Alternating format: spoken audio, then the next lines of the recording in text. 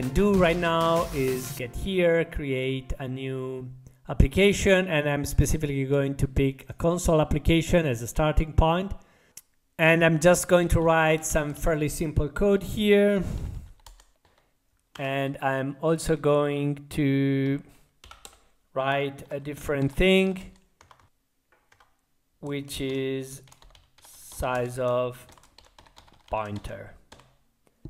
Just to see that this is in fact a 64-bit compiler.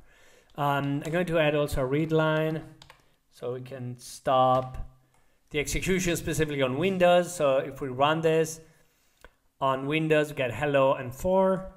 Of course, we can also on Windows build it as um, build as a 64-bit Windows application, in which case we get hello and, and 8. Uh, but the other thing we can do is I can take on my Linux box here running inside uh, VMware. Um, I've already started PA server on this machine. Uh, you can see this is PA server running with a given um, IP address. Uh, next, you have to configure your environment so that the if I add the Linux platform, I add also a connection to this machine running PA server that's used for deployment. And the other thing, I also have a SDK configure I already imported the SDK from my Ubuntu uh, machine.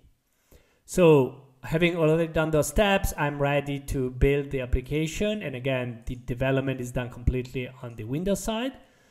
And I can then deploy the application and run it on my Windows. Fairly simple and direct. Um, and I'm, I've, I've got my application running on, uh, on Linux. Now the application is separately deployed.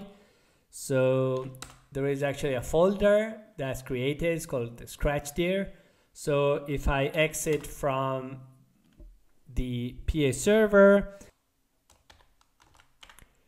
uh, PA server, scratch scratchdir, and I think it's um, Marco Ubuntu VM. This is my username and the name of the of the target machine. Here you can see that I've actually deployed a couple of applications. This is called Project 11. So uh, inside the Project 11 folder, um, there is in fact my executable. So I can just run it directly, execute my Linux application. And if we examine it, this is my standalone application with debug information deployed on Linux.